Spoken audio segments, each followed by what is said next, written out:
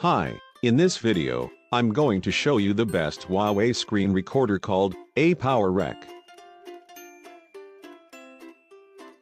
To use this app, simply get it from Google Play. After that, open the application, tap the menu button and then choose settings to make some pre-recording configuration. Once on settings, you can set the resolution, bitrate, frame rate, and orientation for your video. To activate the camera feeds, simply enable it and then tap camera settings to choose the camera to use, the aspect ratio, size, opacity, etc.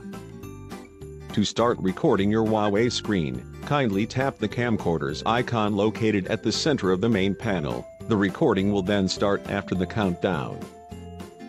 Now you can open whatever you want to record such as a game.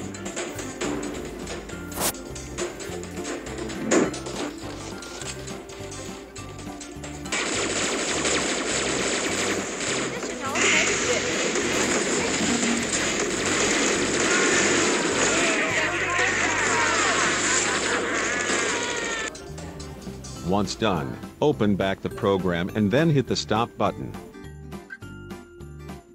Your recorded file will then be included under your tool's recording list.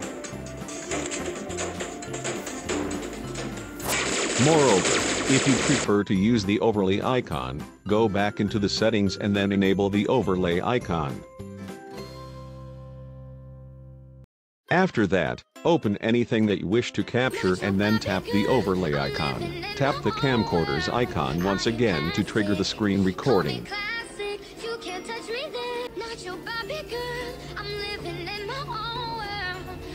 And to end the recording, tap the overlay icon and then press stop.